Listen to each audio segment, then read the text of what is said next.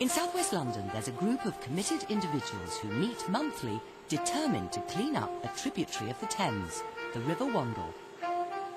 Hi, Jill. Hi. Uh, right, how do you do?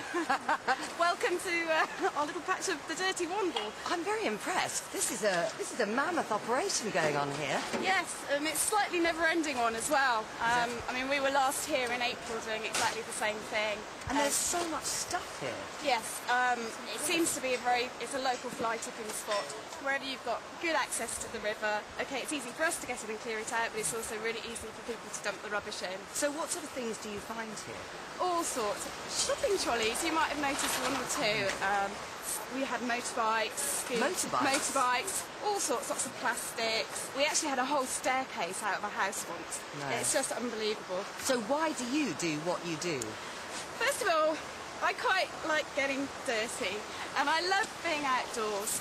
But also more seriously, it's really nice to be able to do something in the community that you live in, to put something back. This group was started by a bunch of fishermen and there's a lot of history with brown trout with the river and they're very keen to see brown trout flourishing again in the river. And then you get people like myself who've got more of a kind of environmental conservation angle. And we seem to rub along reasonably well together because we've got the same goal to improve the quality of this river. I can't wait to see what emerges up. Jill, I can't believe in such a short space of time you've collected this. I know it's quite incredible and by the same token quite shocking as well. This location is relatively easy pickings for us because there is just so much stuff that regularly gets dumped here because of the easy access. If people are watching this and they feel inspired, how do they get involved with rivers near them? I think the first thing you need to do is well, get the word out and see if you can get a group of like-minded people together. Um, you might do that through leafleting along the riverbank.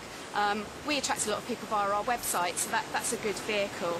Don't you ever get disillusioned and think that's it, had enough? No, no, I think it just adds to the challenge and we will succeed and we're just going to stick with it.